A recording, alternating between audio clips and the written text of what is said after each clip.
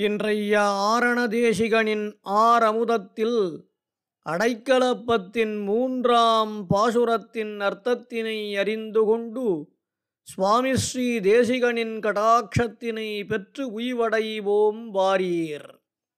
அடைக்கலப்பத்தின் மூன்றாம் பாசுரம் தந்திரங்கள் வேறின்றி தமது வழியடியாது.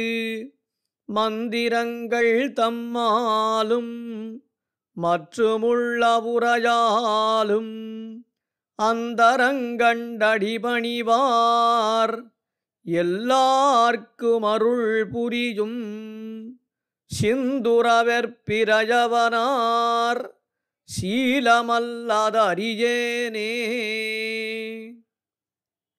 பாசுர விளக்கம். இப்பாசுரத்தின்கண் சுவாமி ஸ்ரீ நிகமாந்த மகாதேசிகன்.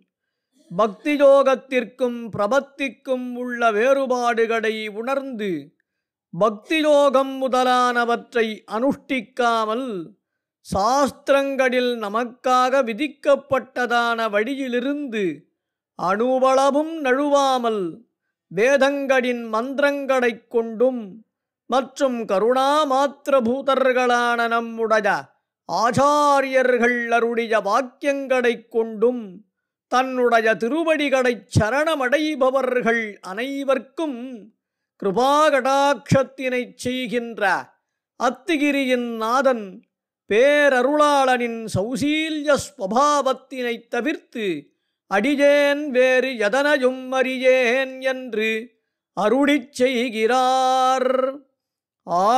ஆழ்வாராண்டாள் எம்பெருமானாறு தேசிகன் ஸ்ரீமதழகிய சிங்கர் திருவடிகடே சரணம் ஆழ்வார்க்கடிதான் பேரங்கியூர் பா ஸ்ரீனிவாசராகவன் திருஜவுள்